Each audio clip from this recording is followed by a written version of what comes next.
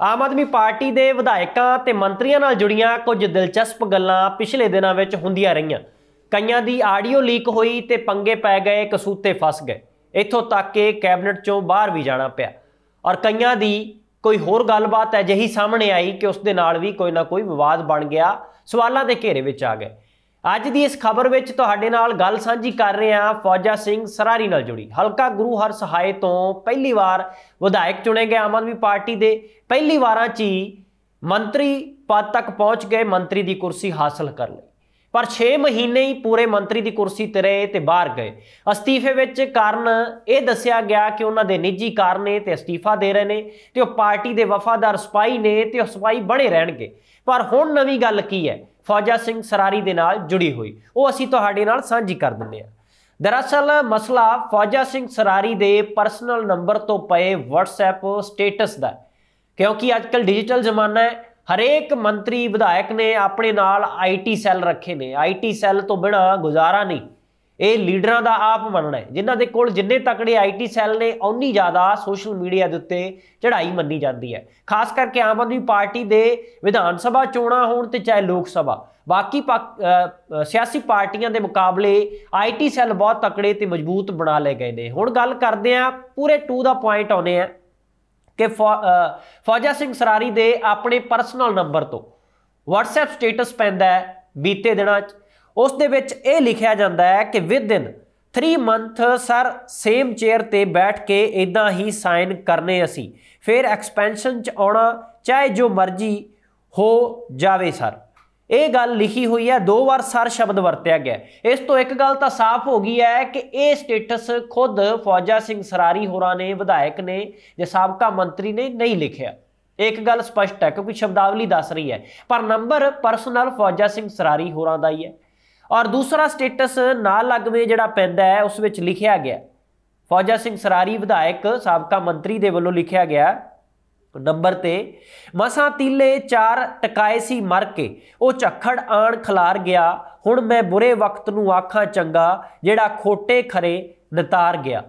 ਇਹ ਗੱਲ ਲਿਖੀ ਗਈ ਹੈ। ਇਹਨਾਂ ਸ਼ਬਦਾਂ ਨੂੰ ਹੁਣ ਕੀ ਸਮਝਿਆ ਜਾਵੇ? ਤੁਸੀਂ ਖੁਦ ਸਿਆਣੇ ਹੋ, ਅੰਦਾਜ਼ਾ ਲਗਾ ਸਕਦੇ ਆ ਜਿਸ ਦੇ ਵਿੱਚ ਉਹ ਇੱਕ ਗਿਲਾ ਸ਼ਿਕਵਾ ਜ਼ਹਰ ਜਾਂ ਕਰ ਰਹੇ ਨੇ ਕਿ ਬੁਰੇ ਬੁਰੇ ਵਕਤ ਨੇ। ਇਸ ਦਾ ਮਤਲਬ ਇੱਕ ਤਰੀਕੇ ਦੇ ਨਾਲ ਜਿਹੜੀ ਇਹ ਲਿਖਤ ਲਿਖੀ ਗਈ ਹੈ, ਇਸ ਤੋਂ ਇਹ ਮੰਨ ਲਿਆ ਗਿਆ ਹੈ ਕਿ ਜੋ ਕੈਬਨਿਟ 'ਚੋਂ ਬਾਹਰ ਗਏ ਕਿ ਇਸ ਨੂੰ ਬੁਰਾ ਵਕਤ ਮੰਨ ਰਹੇ ਨੇ ਜਾਂ ਹੋਰ ਕੋਈ ਪਰਿਵਾਰ ਦੇ ਵਿੱਚ ਜਾਂ ਕੋਈ ਵੈਸੇ ਰੋਜ਼ ਨਵਾਂ ਜ਼ਿੰਦਗੀ ਦੇ ਵਿੱਚ ਚਾਹੇ ਕੋਈ ਸਿਆਸੀ ਲੀਡਰ ਹੋਵੇ ਜਾਂ ਆਮ ਬੰਦਾ ਮਾੜਾ ਚੰਗਾ ਦਿਨ ਆਉਂਦਾ ਰਹਿੰਦਾ ਹੈ ਉਸ ਨੂੰ ਸੰਦਰਭ ਵਿੱਚ ਲਿਖ ਕੇ ਇਹਨਾਂ ਨੇ ਲਿਖਿਆ ਕਿ ਇਹ ਵੀ ਉਹਨਾਂ ਦੇ ਆਈਟੀ ਸੈੱਲ ਵੱਲੋਂ ਲਿਖਿਆ ਗਿਆ, ਜਿਵੇਂ ਪਹਿਲਾ ਸਟੇਟਸ ਪਰ ਇਸ ਦੇ ਵਿੱਚ ਸਭ ਤੋਂ ਵੱਡੀ ਤੇ ਸਪਸ਼ਟ ਇੱਕ ਗੱਲ ਸਾਫ਼ ਹੈ ਕਿ ਜਿਹੜੀ ਇਹ ਗੱਲ ਲਿਖੀ ਗਈ within 3 month sir same chair ਤੇ ਬੈਠ ਕੇ ਇਦਾਂ ਹੀ ਸਾਈਨ ਕਰਨੇ ਅਸੀਂ, ਫਿਰ ਐਕਸਪੈਂਸ਼ਨ ਚ ਆਉਣਾ ਚਾਹੇ ਜੋ ਮਰਜ਼ੀ ਹੋ ਹੋਵੇ ਸਰ।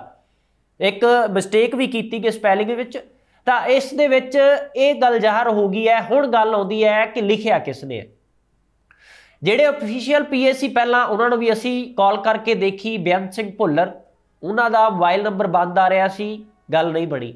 ਇਸੇ ਨੰਬਰ ਦੇ ਉੱਤੇ ਵੀ ਫੋਨ ਕਰਕੇ ਵਿਧਾਇਕ ਨੂੰ ਖੁਦ ਅਸੀਂ ਪੁੱਛਣ ਦੀ ਕੋਸ਼ਿਸ਼ ਕੀਤੀ ਕਿ ਕਿੰਨਾ ਵੱਲੋਂ ਲਿਖਿਆ ਗਿਆ ਕਿ ਇਹ 3 ਮਹੀਨੇ ਬਾਅਦ ਮੁੜ ਕੁਰਸੀ ਤੇ ਬੈਠਣਗੇ ਮੰਤਰੀ ਵਾਲੀ, ਇਹ ਕਿਵੇਂ ਸੰਭਵ ਹੈ? ਕੀ ਸਰਕਾਰ ਦੇ ਨਾਲ ਕੋਈ ਗੱਲ ਹੋਈ ਹੈ ਜਾਂ ਨਿੱਜੀ ਕਾਰਨ ਜਦੋਂ ਦੱਸਿਆ ਗਿਆ ਤਾਂ 3 ਮਹੀਨੇ ਬਾਅਦ ਮੁੜ ਕੁਰਸੀ ਤੇ ਪਰਤਣਗੇ? ਕਿਉਂਕਿ ਉਹ ਫੋਨ ਚੁੱਕਦੇ ਤਾਂ ਫਿਰ ਜਵਾਬ ਮਿਲਣਾ ਸੀ। ਇਸ ਕਰਕੇ ਗੱਲਬਾਤ ਨਹੀਂ ਹੋ ਸਕੀ, ਫੋਨ ਨਹੀਂ ਲੱਗ ਸਕਿਆ। ਔਰ ਦੂਸਰੀ ਗੱਲ ਆਉਂਦੀ ਹੈ ਕਿ ਇੱਕ ਪ੍ਰੀਤ ਹਾਮਦ ਨਾਮ ਦੇ ਸ਼ਖਸ ਨੂੰ ਅਸੀਂ ਫੋਨ ਕੀਤਾ ਕਿਉਂਕਿ ਸਾਨੂੰ ਜਾਣਕਾਰਾਂ ਤੋਂ ਪਤਾ ਇਹ ਲੱਗਿਆ ਕਿ ਉਹਨਾਂ ਦਾ ਜਿਹੜਾ ਆਈਟੀ ਸੈੱਲ ਜਾਂ ਸੋਸ਼ਲ ਮੀਡੀਆ ਜਿੰਨਾ ਵੀ ਉਹ ਦੇਖਦੇ ਨੇ, ਉਹ ਪ੍ਰੀਤ ਹਾਮਦ ਦੀ ਡਿਊਟੀ ਲਗਾਈ ਗਈ ਹੈ। ਉਹਨਾਂ ਤੋਂ ਪਤਾ ਕਰਨ ਦੀ ਕੋਸ਼ਿਸ਼ ਕੀਤੀ ਗਈ ਫੋਨ ਉਹਨਾਂ ਨੇ ਵੀ ਨਹੀਂ ਚੱਕਿਆ ਕਿ ਇਹ ਸਟੇਟਸ ਕਿਸ ਵੱਲੋਂ ਪਾਇਆ ਗਿਆ। ਹੌਸਲਾ ਕਿਸ ਵੱਲੋਂ ਦਿੱਤਾ ਗਿਆ ਕਿ ਸਰ ਸ਼ਬਦ ਦੋ ਵਾਰ ਵਰਤਿਆ ਗਿਆ ਕਿ 3 ਮਹੀਨਿਆਂ ਬਾਅਦ ਇਸੇ ਕੁਰਸੀ ਸੇਮ ਕੁਰਸੀ ਤੇ ਬੈਠ ਕੇ, ਯਾਨੀ ਕਿ ਸਿੱਧਾ ਇਸ਼ਾਰਾ ਸੀ ਮੰਤਰੀ ਵਾਲੀ ਕੁਰਸੀ ਤੇ ਬੈਠ ਕੇ। ਇੱਥੋਂ ਇੱਕ ਸੰਕੇਤ ਤਾਂ ਇਹ ਮਿਲਦਾ ਹੈ ਕਿ ਕੀ ਉਹ ਕੈਬਨਿਟ ਵਿੱਚ ਮੁੜ ਵਾਪਸ ਪਰਤਣਗੇ। ਜਾਂ ਕੋਈ ਹੋਰ ਗੱਲ ਹੈ, ਕਿਉਂਕਿ ਹੁਣ ਇਸ ਤੋਂ ਇੱਕ ਅੰਦਾਜ਼ਾ ਲਾਉਣਾ ਬਿਲਕੁਲ ਸਪਸ਼ਟ ਹੈ। ਇਸ ਤੋਂ ਪਹਿਲਾਂ ਵੀ ਉਹਨਾਂ ਦੇ ਕਰੀਬੀਆਂ ਨੇ ਹੀ, ਕਿਉਂਕਿ ਫੌਜਾ ਸਿੰਘ ਸਰਾਰੀ ਜਿਸ ਤਰ੍ਹਾਂ ਦੀ ਗੱਲ ਲਿਖਦੇ ਨੇ, ਉਸ ਤੋਂ ਇਹ ਗੱਲ ਹੁੰਦੀ ਹੈ ਕਿ ਉਹਨਾਂ ਨੂੰ ਇੱਕ ਗੱਲ ਦਾ ਗਿਲਾ ਸ਼ਿਕਵਾ ਹੈ ਕਿ ਉਹਨਾਂ ਦੇ ਜਿਹੜੇ ਕਰੀਬੀ ਸੀ, ਖਾਸ ਕਰਕੇ ਤਰਸੇਮ ਕਪੂਰ, ਜਿਨ੍ਹਾਂ ਨੇ ਇੱਕ ਆਡੀਓ ਲੀਕ ਜਦੋਂ ਹੁੰਦੀ ਹੈ, ਉਸ ਦੇ ਵਿੱਚ ਉਹ ਦੋਨੇ ਜਣੇ ਆਪਸ ਦੇ ਵਿੱਚ ਗੱਲਬਾਤ ਕਰਦੇ ਨਜ਼ਰ ਆ ਰਹੇ ਨੇ। ਔਰ ਉਹ ਆਡੀਓ ਲੀਕ ਦਾ ਮਸਲਾ ਇੰਨਾ ਜ਼ਿਆਦਾ ਭੱਗ ਗਿਆ ਕਿ ਵਿਰੋਧੀ ਸਿਆਸੀਆਂ ਨੇ, ਖਾਸ ਕਰਕੇ ਕਾਂਗਰਸੀਆਂ ਨੇ, ਆਪਣੇ ਉੱਤੇ ਹੁੰਦੀ ਕਾਰਵਾਈ ਜਦੋਂ ਜਦੋਂ ਹੁੰਦੀ ਰਹੀ, ਉਹ ਇੱਕੋ ਗੱਲ ਲੈ ਕੇ ਬੈਠਦੇ ਰਹੇ ਔਰ ਫੌਜਾ ਸਿੰਘ ਸਰਾਰੀ ਵਾਲੇ ਮਸਲੇ ਤੇ ਘੇਰਦੇ ਰਹੇ ਕਿ ਜੇ ਡਾਕਟਰ ਵਿਜੇ ਸਿੰਗਲਾ ਤੇ ਕਾਰਵਾਈ ਹੋ ਸਕਦੀ ਹੈ, ਤਾਂ ਫਿਰ ਇਹ ਆਡੀਓ ਤਾਂ ਸਾਰੀ ਦੁਨੀਆ ਨੇ ਸੁਣ ਲਈ, ਕਾਰਵਾਈ ਕਿਉਂ ਨਹੀਂ ਹੋ ਰਹੀ? ਦੇਰ ਬਹੁਤ ਹੋ ਗਈ ਸੀ, ਉਸ ਤੋਂ ਬਾਅਦ ਅਸਤੀਫਾ ਹੋਇਆ, ਡਾਕਟਰ ਬਲਵੀਰ ਸਿੰਘ ਦੀ ਐਂਟਰੀ ਕੈਬਨਿਟ 'ਚ ਹੋਈ ਤੇ ਉਹਨਾਂ ਨੂੰ ਬਾਹਰ ਕਰ ਦਿੱਤਾ ਗਿਆ। ਕੀਤਾ ਸਿੱਧੇ ਤੌਰ ਤੇ ਗਿਆ, ਕਿਉਂਕਿ ਅਸਤੀਫੇ 'ਚ ਕਾਰਨ ਲਿਖਿਆ ਗਿਆ ਕਿ ਨਿੱਜੀ ਕਾਰਨ ਨੇ। ਇਹ ਤਾਂ ਹੁਣ ਜਨਤਾ ਜਾਣਦੀ ਹੈ ਕਿ ਨਿੱਜੀ ਕਾਰਨ ਸੀ ਜਾਂ ਫਿਰ ਇਹੀ ਆਡੀਓ ਲੀਕ ਦਾ ਪੰਗਾ ਹੀ ਕਿਤੇ ਨਾ ਕਿਤੇ ਮੁਸੀਬਤਾਂ ਖੜੀਆਂ ਕਰ ਗਿਆ ਤੇ ਮੰਤਰੀ ਦੀ ਕੁਰਸੀ ਖਿਸਕ ਗਈ। ਔਰ ਦੂਜੀ ਗੱਲ, ਕਿ ਹੁਣ ਇੱਕ ਹੋਰ ਕਰੀਬੀ ਉਹਨਾਂ ਨੂੰ ਫਸਾਉਣਾ ਚਾਹੁੰਦੇ ਨੇ ਕਸੂਤੇ ਕਿਉਂਕਿ ਇਹ ਲਿਖਿਆ ਜਿਹੜੇ ਸ਼ਬਦ ਨੇ, ਇਹ ਕਿਸੇ ਕਰੀਬੀ ਦੇ ਲਿਖੇ ਨੇ। ਕਿਉਂਕਿ ਜੇਕਰ ਤੁਹਾਡਾ ਵੀ ਸਪੋਜ਼ ਕਰੋ, ਮੰਨ ਲਓ ਮੋਬਾਈਲ ਨੰਬਰ ਹੋਵੇ ਜਾਂ ਤਾਂ ਤੁਹਾਡਾ ਕੋਈ ਪਰਿਵਾਰਕ ਮੈਂਬਰ ਉਸ ਦੇ ਉੱਤੇ ਕੋਈ ਨਾ ਕੋਈ ਸ਼ੇਅਰ ਕਰ ਸਕਦਾ ਹੈ ਪੋਸਟ ਪਾ ਸਕਦਾ ਹੈ ਸਟੇਟਸ ਲਿਖ ਸਕਦਾ ਹੈ, ਜਾਂ ਫਿਰ ਤੁਹਾਡੇ ਕੋਈ ਬਹੁਤ ਜ਼ਿਆਦਾ ਕਰੀਬੀ ਦੋਸਤ ਨੇ ਜਿਨ੍ਹਾਂ ਦੇ ਕੋਲ ਤੁਹਾਡਾ ਸੈੱਲ ਫੋਨ ਹੈ ਜਿਹੜਾ ਤੁਸੀਂ ਸਾਂਝਾ ਕਰ ਦਿੰਦੇ ਹੋ, ਭਰੋਸਾ ਕਰਕੇ ਜਾਂ ਤਾਂ ਉਹ ਲਿਖ ਸਕਦਾ ਹੈ। ਤਾਂ ਹੁਣ ਇਹ ਲਿਖਿਆ ਕਿਸ ਨੇ? ਸਵਾਲ ਇਹ ਬਣਿਆ ਹੋਇਆ ਹੈ ਤੇ ਸਵਾਲ ਦਾ ਜਵਾਬ ਤਾਂ ਖੁਦ ਜਾਂ ਤਾਂ ਵਿਧਾਇਕ, ਸਾਬਕਾ ਮੰਤਰੀ ਫੌਜਾ ਸਿੰਘ ਸਰਾਰੀ ਦੇ ਸਕਦੇ ਨੇ, ਜਾਂ ਫਿਰ ਉਹਨਾਂ ਦੇ ਪੀਏ ਜਾਂ ਆਈਟੀ ਸੈੱਲ ਦੇ ਸਕਦਾ ਪਰ ਅਸੀਂ ਕੋਸ਼ਿਸ਼ ਕੀਤੀ, ਗੱਲ ਨਹੀਂ ਹੋ ਸਕੀ। ਸਵਾਲ ਇਹ ਹੈ ਕਿ ਕੀ ਫੌਜਾ ਸਿੰਘ ਸਰਾਰੀ ਮੰਤਰੀ ਦੀ ਕੁਰਸੀ ਤੇ ਵਾਪਸ ਪਰਤਣਗੇ ਜਾਂ ਫਿਰ ਜਿਹੜੀ ਆਡੀਓ ਲੀਕ ਕਰਕੇ ਪੰਗਾ ਪਿਆ ਸੀ, ਤਾਂ ਉਹ ਹੁਣ ਕੁਰਸੀ ਹੋਰ ਦੂਰ ਹੋ ਗਈ ਹੈ ਹੁਣ ਉਹ ਕੁਰਸੀ ਨਹੀਂ ਮਿਲੇਗੀ। ਇਹ ਤਾਂ ਸਰਕਾਰ ਨੇ ਵੀ ਤੈਅ ਕਰਨਾ, ਪਰ ਇਸ ਮਸਲੇ ਦੇ ਵਿੱਚ ਜਿਹੜੀ ਗੱਲ ਸਾਹਮਣੇ ਨਿਕਲ ਕੇ ਆਈ ਹੈ ਕਿਉਂਕਿ ਸੋਸ਼ਲ ਮੀਡੀਆ ਦੇ ਵਿੱਚ ਇੱਕ ਕੀਤੀ ਹੋਈ ਗਲਤੀ ਕਈ ਤਰ੍ਹਾਂ ਦੇ ਸਵਾਲ ਖੜੇ ਕਰ ਜਾਂਦੀ ਹੈ। ਚਾਹੇ ਆਡੀਓ ਲੀਕ ਹੋਵੇ, ਚਾਹੇ ਉਹ ਵੀਡੀਓ ਲੀਕ ਹੋਵੇ ਤੇ ਚਾਹੇ ਉਹ WhatsApp ਦਾ ਸਟੇਟਸ ਹੋਵੇ, ਸਵਾਲ ਕਈ ਤਰ੍ਹਾਂ ਦੇ ਖੜੇ ਹੋ ਜਾਂਦੇ ਨੇ ਤੇ ਇਹ ਖਬਰ ਅਸੀਂ ਤੁਹਾਡੇ ਨਾਲ ਜਿਹੜੀ ਬਿਲਕੁਲ ਪੁਖਤਾ ਸਾਂਝੀ ਕੀਤੀ ਹੈ, ਇਸ ਦੇ ਵਿੱਚ ਕੋਈ ਦੋ ਰਾਏ ਨਹੀਂ ਕਿ ਸਟੇਟਸ ਪਿਆ ਜਾਂ ਨਹੀਂ ਪਿਆ, ਇਹ ਅਸੀਂ ਆਪਣੀ ਭਰੋਸੇਯੋਗਤਾ ਦੇ ਤਹਿਤ ਅਦਾਰੇ ਵੱਲੋਂ ਇਹ ਖਬਰ ਪੂਰੀ ਪੁਸ਼ਟੀ ਦੇ ਨਾਲ ਤੁਹਾਡੇ ਨਾਲ ਸਾਂਝੀ ਕਰ ਰਹੇ ਹਾਂ।